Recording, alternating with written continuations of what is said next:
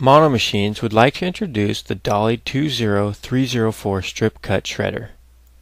Dahle shredders offer steel components versus plastic, including chain-driven cutting heads, allowing for slip-free power to help eliminate jams.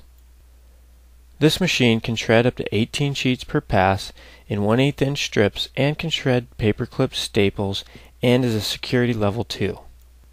A strip cut shredder shreds paper into small, thin strips. Strip cut machines satisfy HIPAA requirements, but for higher security needs you may want to consider a cross-cut shredder. This machine also includes auto on-off functionality and visual indicators that tell you if the door is open and if the bag is full. It has a 9.5 inch wide paper entry and also an 8 gallon waste bin.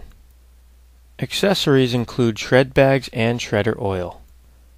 Overall, this shredder is a great machine for small offices.